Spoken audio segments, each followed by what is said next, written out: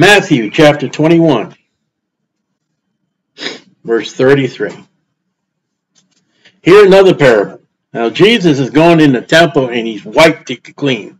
He's kicked over the tables, shoved the animals out, and he's got the chief priests and everybody in an uproar. And he's just dealt with them when we last left. You know, what gives you this authority? Then he puts before them a question, which they can't answer. So here he goes with a parable. There was a certain householder, again, certain householder, somebody in mind for Jesus, unnamed. In this story, why it's a parable, because he's talking about God, Jehovah, which planted a vineyard. Now, the vineyard, get where I am, is Isaiah chapter 5, verses 1 through 7. It's Israel. So the certain householder is God. He planted a vineyard, the nation of Israel, and hedged it round about. He protects it. It's his people. It's been his people since Abraham, Isaac, and Jacob. And then what he's done for them in Exodus and the wilderness journey, bringing them into the promised land. God has set forth these people, protected them, and gave them a special advantage of hedging. And dig the wine press in it. You know, that's what you do with grapes. You gather the grapes, wine, and built a tower. You know, watch around, protection, and let it out to husbandmen, that's the workers, and went into a far country. Well, it'd be heaven, be glory. He said, here's the vineyard, here's the nation of Israel, here's the land, here's the winepress, here's the hedge, here's the tower. To the, to the people of Israel, the priests, the elders, take care of the land for me. Take care of the people. And it's been all instructed by the law. Moses wrote down the law of God on what they're to do and what they're not to do. And when the time of the fruit drew, drew near, the crops, the wine, the grapes, raisins, he sent his servants to the husband. These would be the prophets, the men of God you read about in the Old Testament. God would send men to the, the, the authorities of the nation of Israel. Uh, where's the fruit? What are the people doing? How you doing? How's the vineyard? and they might receive the fruits of it. God wants fruit. If you are a fruitless person of God, because I'm including any dispensation, whether before the law, the law, uh, the Gospels, the church whatever it is, if you don't produce any kind of fruit, you have failed God. Even Adam, God put Adam in the garden to dress the garden, take care of the garden, to produce fruit. And the husbandman took his servants and beat one and killed another and stoned another. This is throughout all the, the, the this is throughout the Old Testament. There are stories that God sent people, they killed them, they abandoned them, they didn't listen to them. Jeremiah, Isaiah. Over and over. This is this is the, the Old Testament in a nutshell. God's servants were mistreated. Now, go over to Hebrews 11. Hebrews chapter 11, and it's kind of because he doesn't give any name. I mean, we list a whole bunch of people of faith. When we come down to the end, let's see where we.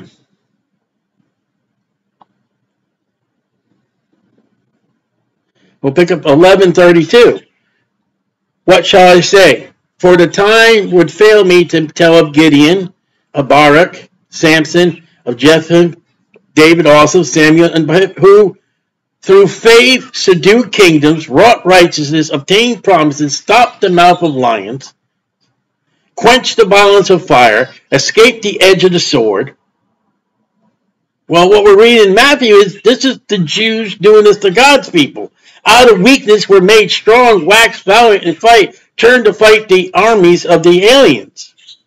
Women received their dead raised up to life again. Others were tortured, not receiving deliverance, that they might obtain a better resurrection.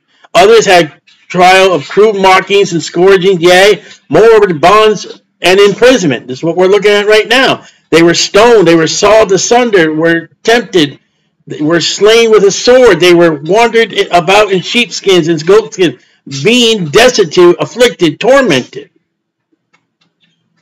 of whom the world is not worthy, they wandered in deserts and mountains and dens and caves of the earth. These all, having obtained a good report through faith, received not the promise. God had some better. So, this is what we're looking at right now in Matthew 21. God, Jesus Christ, says in this parable, Verse 35 The husband took the servant, beat one, killed another, stoned another. This is the life of the story of the Old Testament. This is the, the ones that is spoken about in Hebrews 11. There wasn't one true man of God accepted by the people. There's no really true Christian as accepted among the church if you don't go along with their ways. Verse 36 of chapter 21, and he sent other servants more than the first. Old, Old Testament. Name off the prophets. The ones that didn't even have names. Including Daniel, Shadrach, Meshach, Isaiah, Jeremiah, Hosea, Zechariah, Zephaniah. Name them. The major and the minor prophets. Moses, Aaron were prophets. God sent these. Moses had a terrible life with the children of Israel.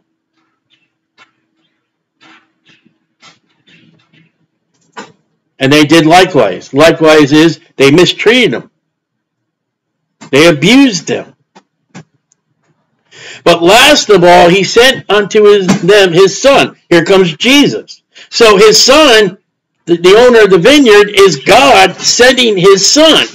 We know what it's, what it's about. God said, okay, I've sent these, I sent these, these men, I sent the prophets, I sent the men of God, and they mistreated them, they killed them, they abused them. I'm going to send my son. They will reverence my son. But when the husband saw the son, they said among themselves, This is the heir of the, of the vineyard. Jesus Christ is the King of kings, the Lord of lords of the nation of Israel. He came unto his own, his own received him not. Now, you didn't think God didn't know they would kill him. He knew. Later on, there'll, there'll be the group of Israel corporate that will receive Jesus Christ at the second advent. Right now, he's the, he's the lamb of the sacrifice. So here's the Son, here's Jesus Christ. This is here, come, let us kill him. And that's what they all been saying to the, many times in the in the gospel, they will plan to kill Jesus. And when the time came for him to be crucified, they turned him over to the Roman government. Let us seize on his inheritance. All right, so if we kill Jesus, which they do, Pilate said for envy, God says, because you want the vineyard, you want the land. So that piece of land over there, they've been fighting over and against all time. And they caught him, which hasn't happened yet, but it's going to. Here he goes again. He's going to be telling about the suffering, the death, the burial, and the resurrection. Cast him out of the vineyard and slew him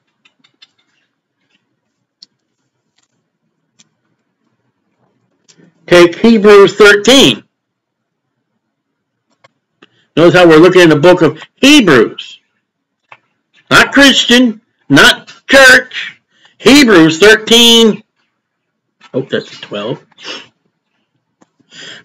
Wherefore Jesus, okay, that's who we're talking about, also he might sanctify the people with his own blood, suffered without the gate. He died outside of Jerusalem. So if anybody tells you inside Jerusalem or shows you, well, here's, here's where Jesus died in the, in the Jerusalem. No, my friend. They took him outside the gate. There was a sacrifice in the Old Testament. They were to bring it outside. That's what the law states. So back to Matthew 21. Matthew 21. I go down.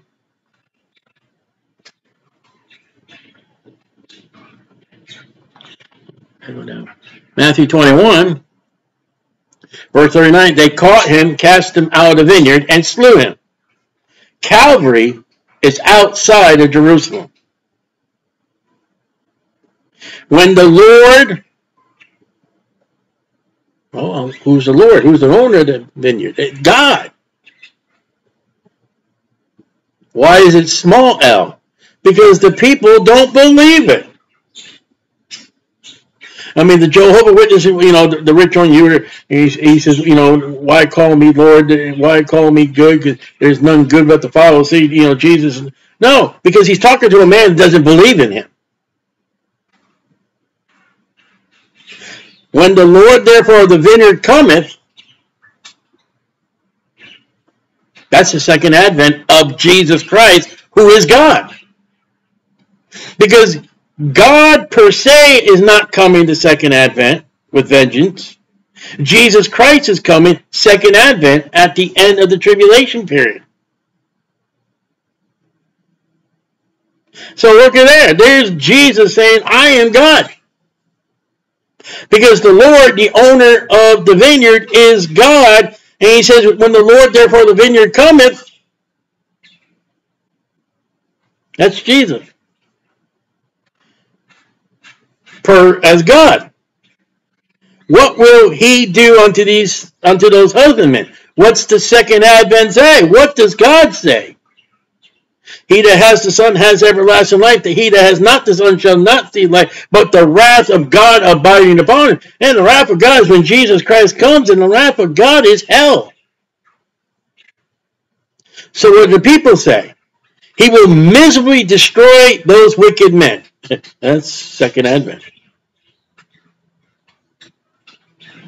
Those men today that crucified our Lord and Savior Jesus Christ, unless they repented, they're in hell today, right now. They're not ever going to get out, only to come into the lake of fire that burns forever. Now watch this. And we'll let out the vineyard to other husbandmen.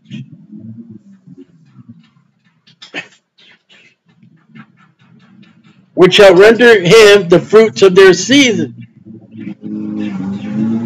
There will be Jewish people who will occupy the land with Jesus Christ, King of Kings and Lord of Lords. They will produce perfection to Jesus and to God.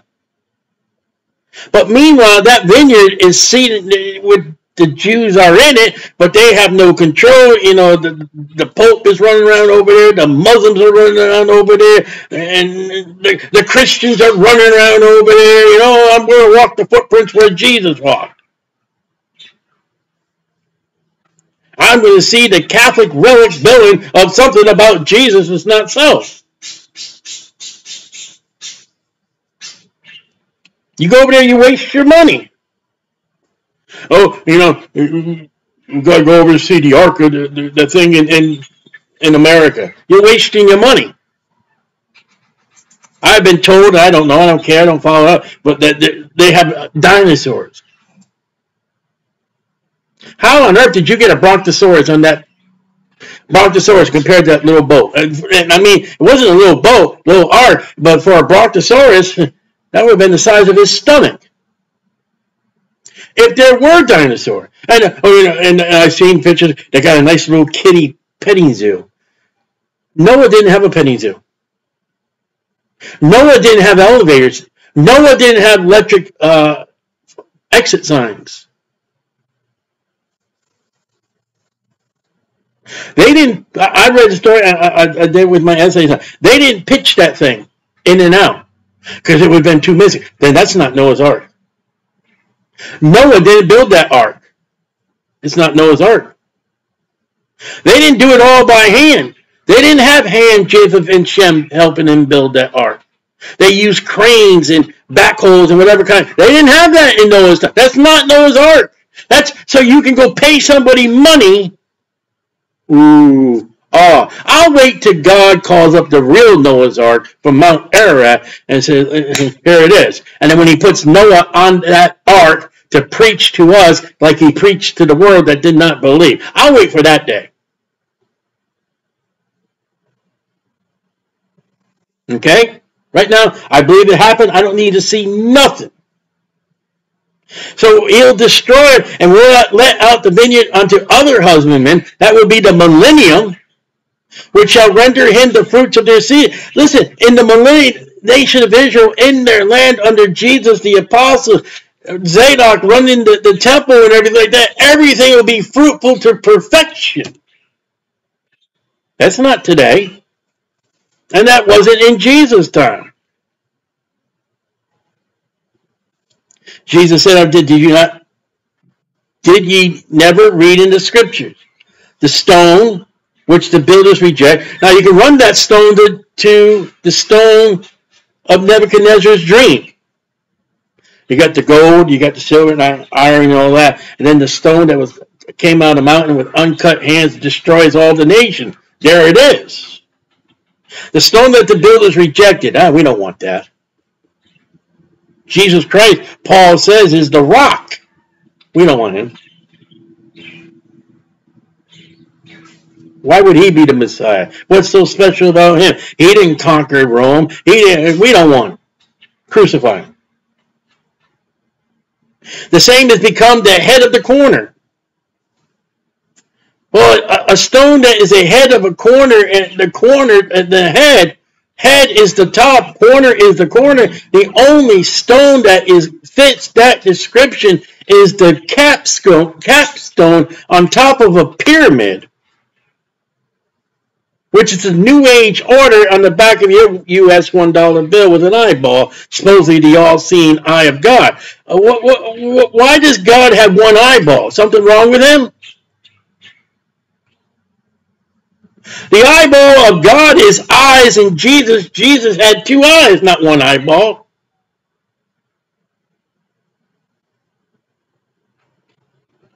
This is the Lord's doing. This is God's doing. You rejected that stone. That stone's going to come back and it's going to kick you. It's going to break you. It is marvelous in our eyes. They're going to, the Jews are going to look at Jesus at the great white throne judgment that rejected. You're the one Come on, man. You you allowed us to crucify. If you were God, you were on that cross. Come down and let's see Jehovah save you. He saved others. He couldn't. You are the one. Really?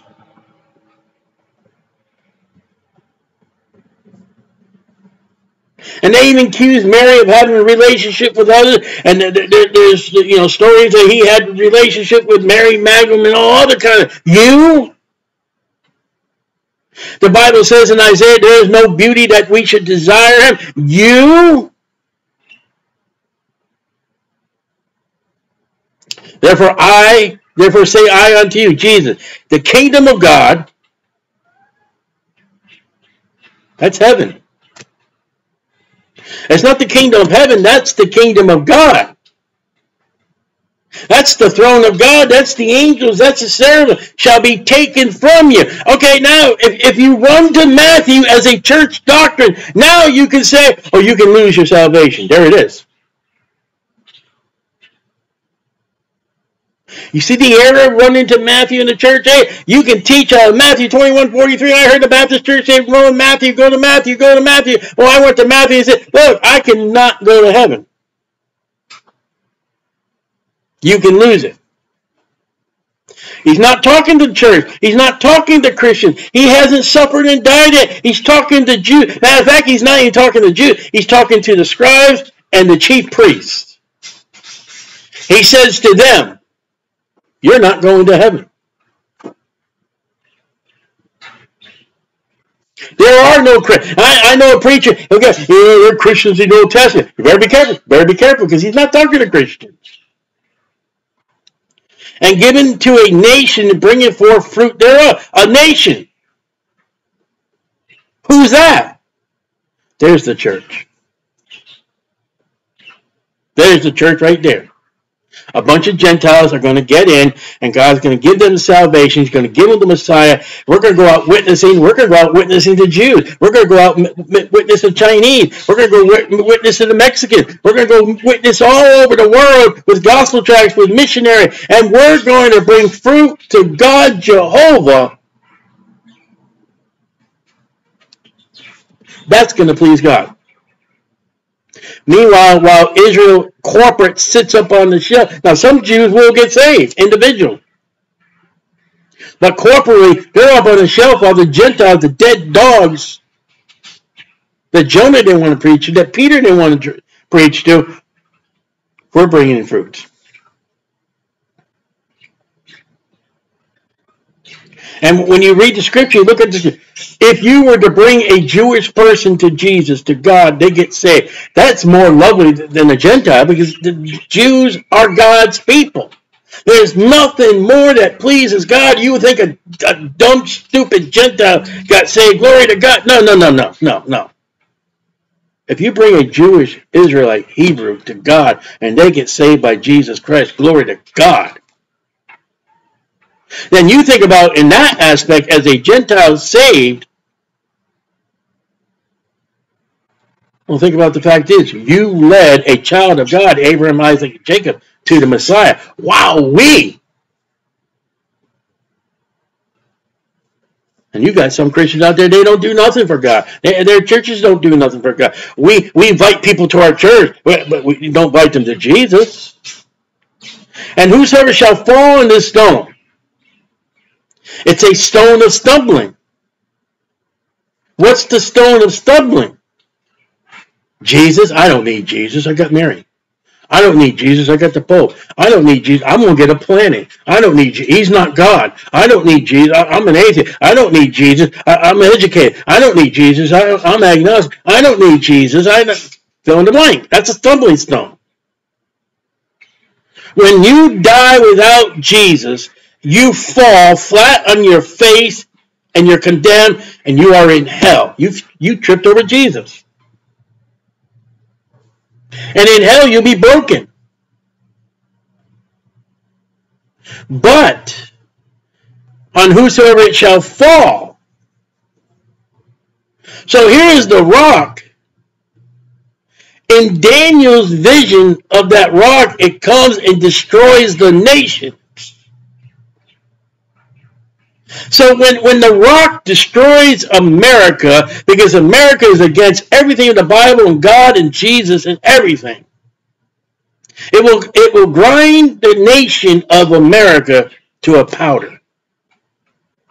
That's Daniel. So whether you trip over Jesus or whatever you want to believe, whatever you don't want to believe, you're broken.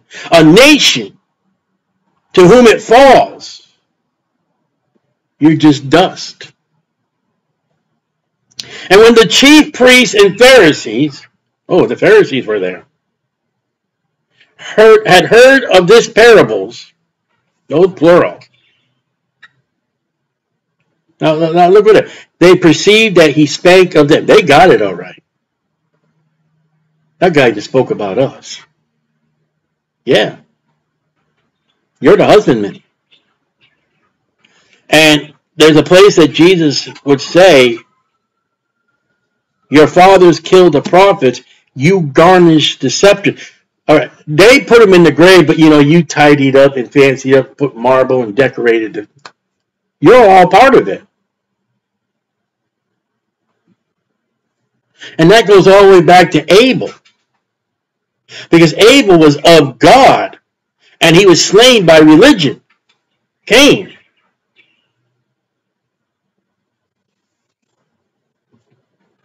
So even the chief priests and the Pharisees got the idea uh, it's about us. So what's their reaction? But when they sought to lay hands on him, they were going to kill him right then and there for that.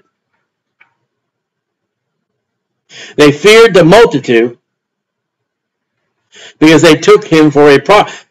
See, they didn't believe, they didn't believe who Jesus was, the Pharisees, the religious scribes. But the people took him for a prophet. The people didn't take him for the Messiah. They took him for a prophet. Like they did John the Baptist. A prophet showed up, but not the Messiah. That's the whole aspect of what they thought of Jesus. And that's sorry because there was God right there. And they didn't get it. The apostles didn't get it. And that's sorry.